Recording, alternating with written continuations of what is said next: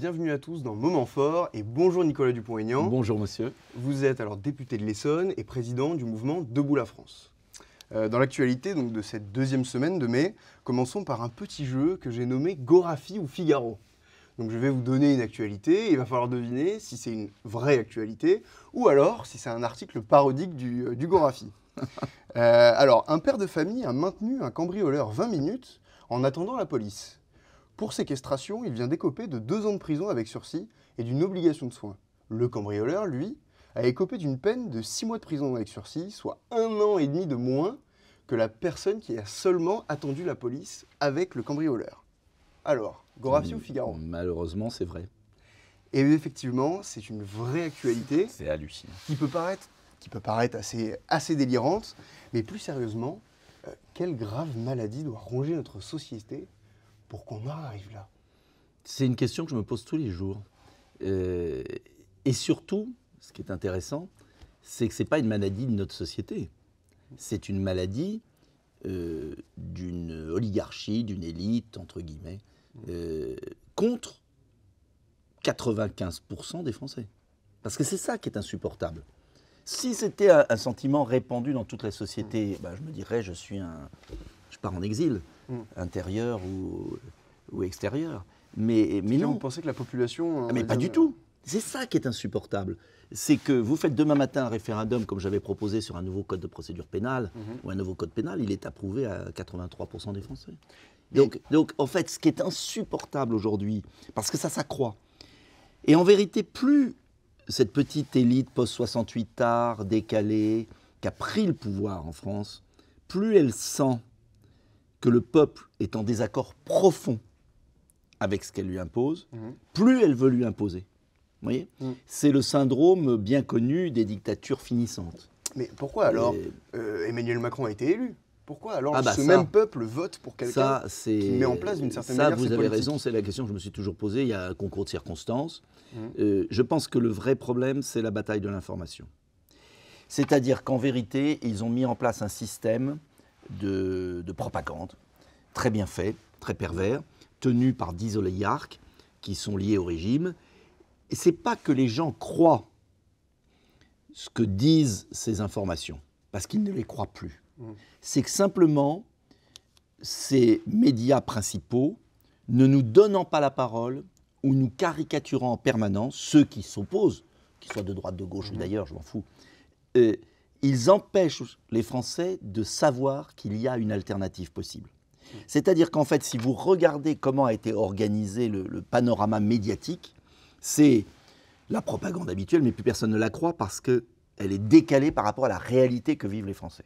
Pouvoir d'achat, immigration, sécurité. Les Français voient bien qu'il y a un décalage saisissant entre ce qu'ils vivent et ce qu'on leur dit à la télé. Mais, en revanche, la télé discrédite systématiquement toute voix alternative, toute personnalité un peu différente. Et nous a enfermés dans le trio infernal euh, Le Pen, Mélenchon, Macron, caricaturant Mélenchon et Le Pen d'ailleurs. Euh, et ce faisant, Macron joue entre l'un et l'autre. Et on le voit bien d'ailleurs même à l'Assemblée nationale, où si nous votions unis entre Mélenchon, Le Pen, moi et, et quelques centristes, on battrait systématiquement Macron. Mais Macron, très, très habilement, avec sa minorité, euh, tout à coup euh, attaque Mélenchon pour dire les méchants, euh, avec bien souvent des raisons. Ensuite se reporte sur Le Pen en disant le diable arrive. Et, et- et donc ils interdisent une alternative. Il joue un peu de la tactique politicienne pour essayer de. C'est pire que champ. ça. C'est il tue dans l'œuf où il caricature et discrédite toutes les alternatives qui peuvent exister. Celle de Mélenchon, c'est pas la mienne. Je déteste et je conteste. Mais il y a un projet cohérent. C'est pas le mien. Euh, mais il, il- oh, il ne peut même pas l'exprimer d'ailleurs. Euh, Marine Le Pen a ses défauts, mais c'est injuste ce qu'on lui a fait. Euh, regardez l'entre-deux tours. Un jour, j'avais pris tous les journaux pendant l'entre-deux tours, j'avais fait une émission, puis j'avais déchiré tous les journaux. C'était, mais c'était hallucinant. Donc voilà, la bataille de l'information, c'est la bataille prioritaire. Voilà pourquoi toutes les émissions, tous les réseaux, tout ce que vous faites, vous, les autres, nous, euh, est absolument vital. Créer les, les conditions d'une alternative pour qu'à un moment donné, les Français se disent on sait que lui est nul, dangereux, euh, et ça, ils commencent à le comprendre. On peut confier notre pays à une autre équipe. C'est que nous, voilà, on essaie justement ici Oui, c'est d'inviter très tout important. le monde. De ne, voilà, mon, mon rôle n'est pas de, de- de- de stigmatiser quelque pensée que ce soit, mais bien de recevoir tout le monde et de donner la parole à tout le monde. Et je vous en remercie. Euh, passons donc à la deuxième actualité euh, de cette semaine, euh, le drapeau européen. Donc une décision, hier, les députés ont dit oui à l'obligation d'arborer le drapeau européen sur les mairies de plus de 1500 habitants. Vous avez voté contre. Ah oui, je alors, tout d'abord, toute la nuit. Tout d'abord, je vais vous demander pourquoi, et est-ce que pour vous, ce ne serait pas une honte que la France expose son allégeance à l'Union européenne? Mais bien sûr que c'est une honte. Je me suis battu, vous retrouverez toutes mes interventions, euh, parce qu'on ne peut pas mettre sur le même plan, c'est tout, c'est très simple, le drapeau qui incarne la nation, qui exprime la souveraineté populaire, qui est dans la Constitution, et euh, un emblème d'une institution qui a été rejetée par le peuple en 2005. Point. C'est tout simple. Où les Il gens n'y a pas de rapport. voté pour les européistes. Non, non, ils ont voté contre la Constitution européenne. Oui. Donc c'était clair, net, précis. Euh, et jamais ils n'ont été consultés à nouveau. Euh, le traité de Lisbonne viole ce vote. Mais le traité de Lisbonne ne comprenait pas le drapeau. C'est le Pour me, seul faire, point. pour- pour me faire un peu l'avocat du diable, ils ont voté pour ces parlementaires qui ont voté eux-mêmes le traité de Lisbonne. Pourquoi alors ne pas avoir fait Oui, un autre les choix? parlementaires les ont trahis, et c'est là où j'ai quitté l'UMP et fondé Debout la France. Parce que c'était une trahison, le viol du peuple. Donc euh, euh, c'est clair. Et puis il n'y a, rien à voir entre ce drapeau européen de l'Union européenne, euh, d'une Union européenne antidémocratique, moribonde, dangereuse pour nous, et le drapeau français qui est le, de nos, morts pour la France. Enfin, je veux dire, ces gens sont dingues. De surcroît, il n'est pas dans la Constitution. Donc pour moi, ce n'est pas constitutionnel. Et si par malheur ça passait au Sénat puis à l'Assemblée, il faudrait saisir la Constitution. Enfin, saisir le Conseil constitutionnel. Quand on connaît le Conseil constitutionnel, passons. Mais on va essayer. Ce que je, où j'enrage un peu quand même, c'est qu'on avait refusé ce drapeau en commission des lois. Enfin, je ne suis pas membre de la commission des lois, mais ils les avaient refusés parce que tout le monde était présent. Oui. Et puis là, euh, il y a eu quand même euh, pas beaucoup de présents dans l'hémicycle. C'était les Euh, insoumis qui, étaient, qui ont eu. Oui, et puis, très euh, oui, enfin, un peu tout le monde. hein. Voilà. Aussi, euh, aussi euh, le groupe Rassemblement National Non, le groupe Rassemblement National s'est bien battu, mais il manquait quand même encore euh, une trentaine de députés, ce qui n'est pas normal. Parce Donc euh, je souhaite, je souhaite, je, je, je l'ai dit, je souhaite que tout le monde soit là. Et ce qui m'a choqué le plus, presque, c'est que le débat n'a pas été tellement sur les principes. Le débat a porté, ah bah ça va coûter cher aux communes, c'est une obligation, la liberté des communes et tout, n'importe quoi. Le débat, c'est très simple. C'est que derrière cette proposition de loi, il y a la volonté de Macron de substituer au drapeau tricolore, c'est-à-dire à la souveraineté de la nation et à l'appartenance nationale, une autre allégeance. J'ai bien aimé le terme que vous avez employé. C'est ça, en fait. Et ils veulent habituer les Français, par le symbole, le signe, à mettre sur un même plan euh, une nation démocratique, à peu près, et une organisation non démocratique. non démocratique. Non Elle n'est pas élus, démocratique. Tous les élus européenne sont soit directement, soit indirectement Non, élus. non, non, non. Au Parlement européen, non, les députés. le Parlement européen n'est pas un vrai Parlement. Il est élu par euh, l'assemblage de débats nationaux différents avec une participation dérisoire. Dérisoire, regardez la participation. Il n'a aucune légitimité, il a très peu de pouvoir. Il a très peu de pouvoir, c'est une, euh, c'est une illusion. Et puis le vrai pouvoir appartient à une commission Mhm. non élue, corrompue, euh, et désignés par les élus des pays oui, nationaux. mais, mais, mais ce n'est pas un système démocratique. Je suis désolé. C'est un système oligarchique. Bon, qui conduit d'ailleurs l'Europe à la ruine. On en parlera peut-être une autre fois sur la politique étrangère. Euh, c'est une commission américaine, ce n'est pas une commission européenne. Donc, tout ça fait que, euh, d'un côté, vous avez une organisation qui a été rejetée par le peuple français, qui fasse un référendum alors. Euh, On fait un référendum à nouveau de 2005 et on recommence. Mais vous allez voir le résultat, ça ne sera pas 55-45, ça sera 65-35. Après, par contre, dans les sondages, euh, le Frexit serait donné perdant Oui. à plus de 60%. Mais je le sais. Euh, c'est pour ça que je n'emploie pas ce terme, parce que ce terme fait peur bêtement. Euh, et je pense qu'il faut une renégociation complète, c'est-à-dire, en fait, les Français. L'Europe des nations, d'une certaine manière Mais bien sûr, l'Europe des nations, Gaulle, j'ai écrit un traité là-dessus en 2006, avec des Danois, des autres. C'est très simple. On rend à la nation les frontières, le budget, euh, les lois, Euh, c'est-à-dire qu'on est des nations démocratiques et puis on coopère sur des projets à géométrie variable. C'est une Europe où on préserve euh, la démocratie, on préserve le droit national, on revient sur des choses carrées, et puis ça n'empêche pas de coopérer pour fabriquer des usines de batteries ou de, des- voilà. Une sorte d'ASEAN Oui, européen. mais bien sûr. Mais bien. de toute façon, cette structure est morte. Vous verrez ce que je vous dis. Vous êtes jeune, plus jeune que moi, donc vous verrez sa mort, même si je ne la vois pas. Elle explosera. C'est fini. L'avenir nous le dira. Mais j'en suis certain. C'est l'histoire. On ne peut pas bâtir des structures artificielles. En fait, c'est un coup d'État. Ils font un coup d'État. Et la différence entre Macron et les autres, c'est que les autres le faisaient subrepticement et, et en fait étaient schizophrènes. D'ailleurs, c'est pour ça qu'ils sont morts politiquement. LR, socialistes. En Oui. fait, ils étaient schizophrènes. Ils sont morts. Ça y est, c'est fini. Moi, j'ai quitté il y a 15 ans. Ça a mis 15 ans quand même à disparaître, LR.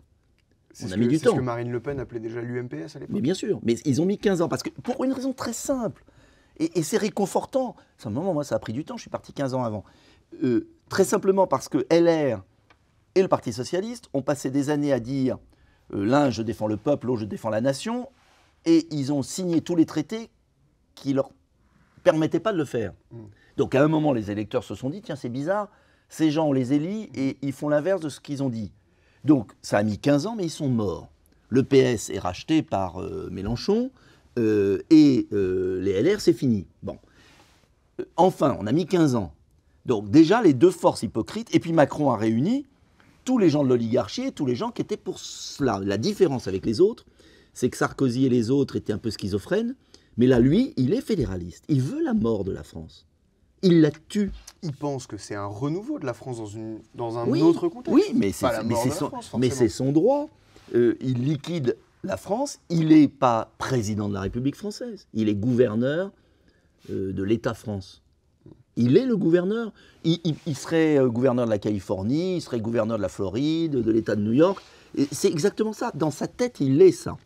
Et donc, voilà. Mais le problème de fond, c'est qu'il se projette dans une organisation illusoire parce qu'en fait, les autres chefs d'État, notamment allemands, eux ce sont encore présidents de leur pays. Et ils se servent de l'Union européenne pour défendre leur intérêt national. Et donc nous, on est les dindons de la farce. Et puis ensuite, il ne comprend pas une chose. Il est comme dans les dessins animés, le, le- le type qui va au-delà de la falaise. Et puis tout à coup, il s'aperçoit qu'il n'y a rien. Il ne comprend pas qu'il n'y a pas de légitimité démocratique et qu'il n'y a pas de peuple. Et quand il n'y a pas de peuple, il n'y a pas de nation, il n'y a pas de légitimité. Donc tout ça va très mal finir. Et c'est ça le drame de l'Europe. C'est qu'on a construit un truc artificiel. Donc moi, je veux absolument ressusciter la France. Voilà. Alors on peut appeler ça Frexit, on peut appeler ça renégociation. Moi, je pense que c'est plus malin de dire renégociation, ça fait moins peur. Très bien. Euh, troisième actualité d'aujourd'hui, euh, record d'immigration l'an passé, 500 000 migrants ont été accueillis en France. Euh, Est-ce que David Lisnard, par exemple, a raison de dire qu'il faut stopper l'immigration dans l'intérêt de la société française? Non mais David Lisnard, il me fait doucement rigoler. quoi. Ils ont voté tout. Ces gens sont- ne manquent pas de tout payer. Alors David Lisnard, c'est un, il, il- il a un très bon constat, mais il appartient à une famille politique qui accepte tous les traités qui ont été signés et qui sont responsables de ça.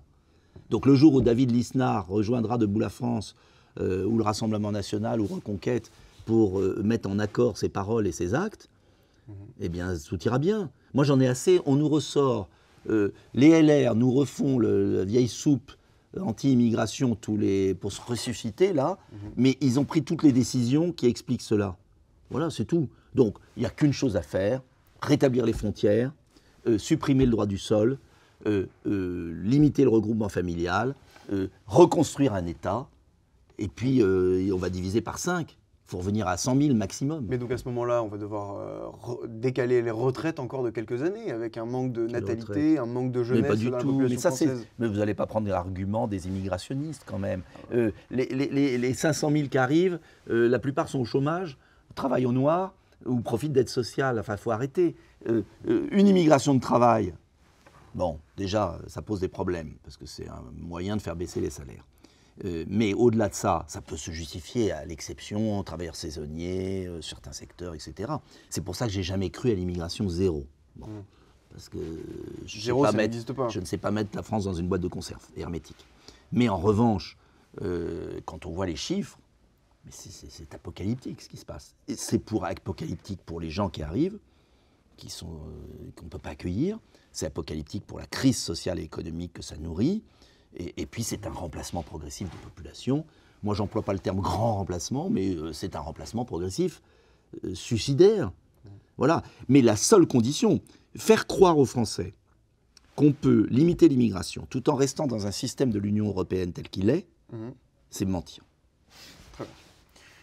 Ensuite, euh, à la Sorbonne, une conférence a été suspendue Mhm. alors qu'elle devait se tenir euh, cette semaine. Une chercheuse du CNRS avait fait une enquête sur les frères musulmans en France et leur levier d'influence. Est-ce qu'au final, cette suspension n'est pas justement une preuve supplémentaire de l'influence grandissante des frères musulmans en France? Mais c'est vous avez lu Soumission? Oui. Bon. Soumission euh, de Welbeck décrit exactement. Il a été écrit quand Soumission? Je ne sais plus, il y a 10 ans? Euh, Oui, quelque Ou chose 5 comme ça. ans? Je ne sais plus exactement. Bon. Euh, c'est impressionnant. Relisez Soumission. C'est cette, cette histoire. prophétique. Mais c'est horrible. C'est horrible, c'est la lâcheté française de, de la collaboration. Euh, euh, voilà, Euh, vous savez, chaque époque a, a ses menaces. Mhm. Voilà. Donc les Sorbonnards déjà sous Jeanne d'Arc étaient pro-anglais, donc euh, vous savez, ça rien n'a changé. Bon, donc euh, c'est tragique et, et- et il faut résister. Et heureusement, alors attention, euh, paradoxalement, ce genre d'événements, je pense, sont utiles entre guillemets à condition Il que éveille la conscience des gens, Bah oui. il permet aux gens de se rendre compte de ce qui se passe. mais bien sûr, et puis de réagir. Parce qu'il y a, y a aussi un bon fond dans notre pays. Moi, je, vous savez, je, je me méfie aussi beaucoup parce que dans nos milieux, en tout cas dans les miens, euh, je, je crois que nous payons, comment dire, un manque d'espérance.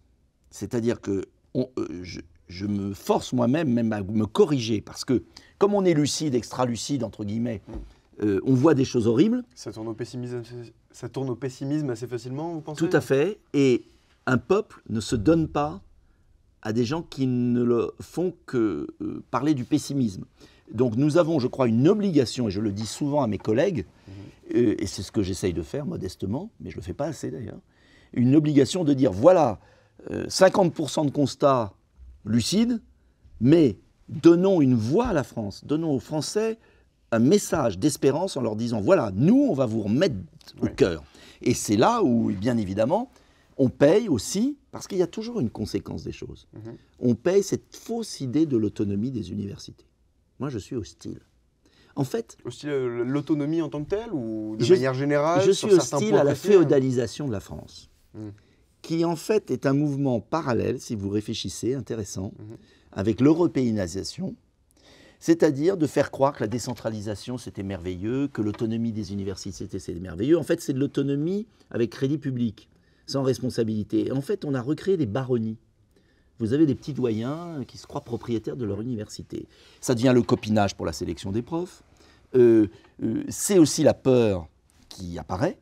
Et je crois que la France, qu'on aime ou on n'aime pas, a toujours eu une verticalité qui est importante pour euh, dire à un moment, euh, vous êtes doyen de la Sorbonne, mais vous n'avez pas le droit de vous essuyer les pieds sur la liberté, sur la liberté de réunion. Et il est inadmissible que la ministre euh, de l'enseignement supérieur n'ait pas tapé du poing sur la table n'ait pas rétabli la réunion immédiatement. Et c'est pas la première fois. Il y a Mais énormément de situations euh, Scandaleuse. analogues euh, dans, euh, dans, euh, dans, dans l'université, aussi bien sur l'écriture inclusive par Tout. exemple. En ce moment, ça fait aussi la- l'actualité. Des minorités Sur, agissantes. voilà, sur En fait, Des minorités agissantes dirigent le pays. Ensuite, Adèle Haenel, qui est une actrice française, a mis fin à sa carrière en invoquant une complaisance généralisée du milieu vis-à-vis des agressions sexuelles. Est-ce que vous pensez que les milieux stressants comme le cinéma, la politique, qui amènent pouvoir, notoriété, argent, peuvent parfois favoriser certains comportements débridés, voire criminels? Je sais pas, je me méfie. Alors là, je voudrais pas. Moi, j'essaye de parler de ce que je connais. Hmm. Euh, sur le cinéma, je ne sais pas. J'entends, je vois. Hmm. Et sur euh, le reste, euh, la politique, j'ai pas. alors, je suis peut-être naïf. Je dois être naïf. J'ai pas vu euh, des choses euh, monstrueuses du tout. Il y en a sans doute Il y a eu. souvent des affaires, euh, on va dire, de, de harcèlement. Il y en a sans doute eu, mais comme partout. Oui. Mais je, attention, euh, euh, je pense que dans le cinéma, euh, c'est davantage. En fait, ce qui se passe surtout dans le cinéma, je crois, mais je sais Hmm. pas tout, c'est aussi cette contradiction permanente c'est entre une certaine élite qui donne des leçons à la terre entière et qui se comporte très mal. Souvenez-vous de l'affaire du Hamel. Oui.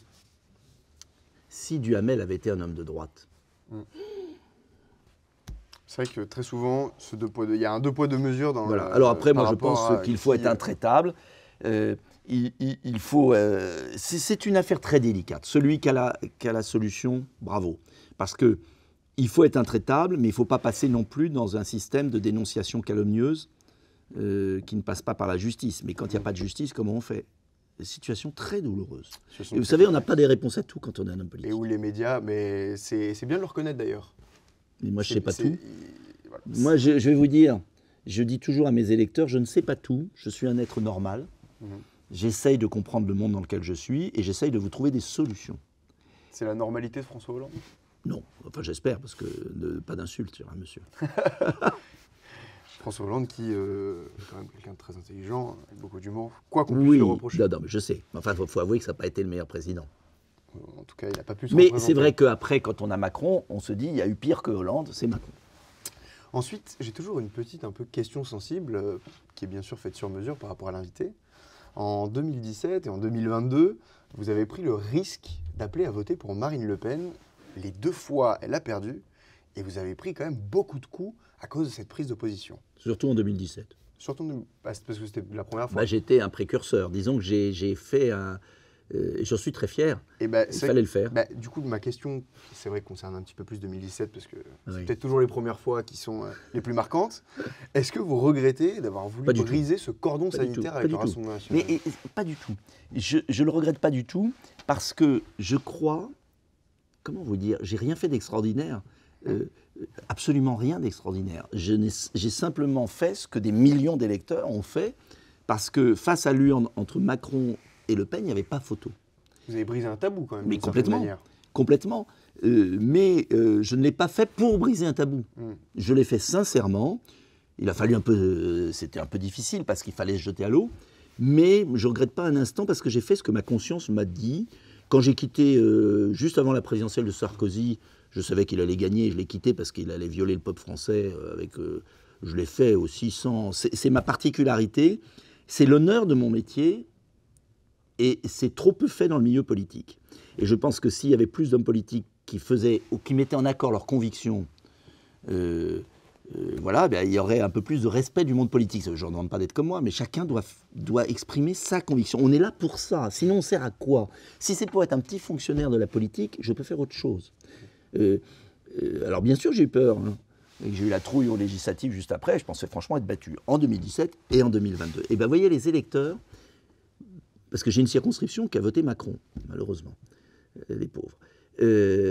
Mais même des gens qui, après, qui avaient voté Macron, même qui étaient en désaccord avec moi, profond, venaient me voir sur les marchés et me disaient chapeau, voilà, on est en désaccord avec vous, mais au moins vous n'êtes pas un trouillard. Vous avez fait ce que vous croyez devoir faire. Voilà, c'est tout. Et si tout le monde agissait un peu comme ça à l'université, euh, dans la police, euh, dans l'économie, euh, vous savez, moi, ce que je, je constate en vieillissant, c'est que la France sombre parce que beaucoup d'acteurs de, la France se trahissent tous les jours. Je vois des chefs d'entreprise qui font des choses en me disant Ah, j'aimerais faire autre chose. Je vois des journalistes qui, en privé, me disent des choses très différentes de ce qu'ils annonnent en public.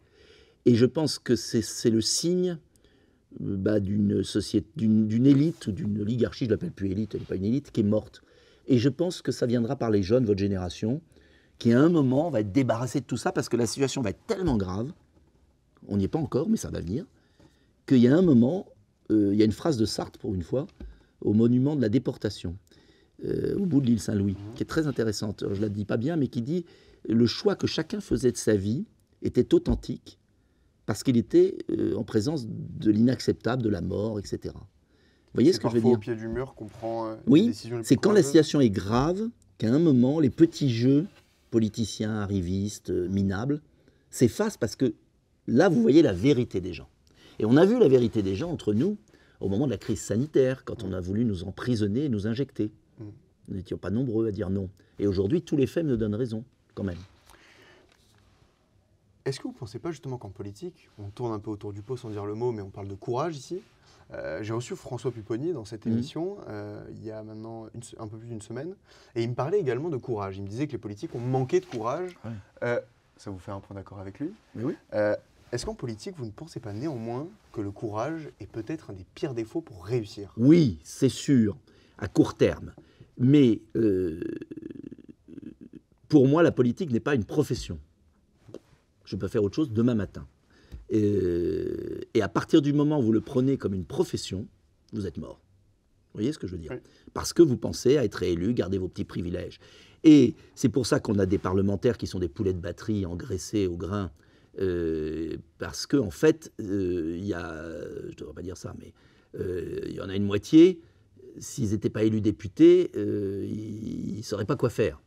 Bon, donc bien évidemment, ils sont tellement contents d'être assis sur leur siège qu'ils feraient tout pour rester sur leur siège. Mm. Mais ça, ça a toujours été comme ça. Sauf que dans les situations gravi- graves, ça fait 30 ans, 40, 30 ans que le pays euh, n'est pas gouverné, 30 ans que le pays euh, s'abîme, parce qu'on a eu des médiocres. Voilà, des médiocres. Et là, l'urgence fait qu'il faut réagir. Mais on le fera avec les jeunes. La jeune génération va être beaucoup plus libre. Et puis, euh, voilà, il y aura un concours historique. Le problème, c'est que je ne voudrais pas que le pays ait disparu. Euh, et et- et j'espère que les Français auront un moment un, un petit coup de, de- voilà, de sursaut. Voilà. Mais il faut chez les, jeunes, chez les jeunes comme chez les plus vieux, on va dire qu'il y a, il y a quand même de tout. Oui. Euh, dernière Oui. euh, dernière question que je pose à tous, les, Ouais. tous mes invités. Est-ce que vous pouvez me donner une personnalité qu'on pourrait voir comme plutôt éloignée de vos idées, que vous appréciez, que ce soit pour euh, la qualité de son travail, euh, sa personnalité, euh, ou même, euh, même la personne qu'il est, tout simplement? Oh, bon, il y en a. euh, personnalité politique? Oui, personnalité de manière générale, ça peut être. euh, je sais pas. Voilà, vous me collez. non, mais. Celle-là, très souvent, elle est, elle est, elle est, Elle elle est pas évidente. Pas évi- Non, parce que, euh, si vous voulez, pourquoi je. Vous voyez, là, je manque de courage. Parce que je- prudemment, je me dis, euh, la, personne que je vais citer va être. ça va être interprété, quoi. Je- J'en sais Non, rien. non, c'est pas pour. justement, c'est quelqu'un Si, d'éloigné de vos idées. Éloigné de mes idées. Ouais. Alors, ça veut dire qu'il faut trouver quelqu'un. euh, Je sais pas. Euh, Franchement, je. Quelqu'un même, un, je sais pas, quelqu'un, un journaliste, un politique euh, très engagé, un, un- un- qu'importe. Ah tiens, bah, je vais vous en donner un, ça va faire hurler. Mais Ruffin, paradoxalement, dans cet océan de la France insoumise, d'une médiocrité, d'une démagogie abominable, Ruffin, euh, avec lequel je suis en désaccord profond, Mhm. est l'un des seuls qui bosse, qui, euh, je le vois en bibliothèque à l'Assemblée, euh, quand j'y vais, il écrit, il écrit des livres, il cherche. euh, euh, et, et ce type-là était cinéaste, était, avait de l'argent, il n'était pas obligé d'aller... euh, Vous avez déjà un peu échangé avec lui oui, euh, alors il a peur parce qu'évidemment il est un peu sectaire comme tous les France insoumises. Mais il a été correct. Il a été correct. Il m'a cité un jour euh, dans une émission. Enfin, vous voyez, il n'a pas cette espèce de sectarisme, même si euh, Bon, je ne suis pas du tout d'accord. Avec- Deuxième fois qu'il est cité. Oui. euh, C'est un des seuls qui réfléchit, je trouve, à gauche. C'est en tout cas, c'est très rare. intéressant. Euh, merci beaucoup, Monsieur Dupont-Aignan, d'avoir Merci été à vous de euh, votre aujourd'hui invitation. avec moi. C'était très intéressant. Merci à vous de nous avoir écoutés. Et moi, je vous dis à la semaine prochaine.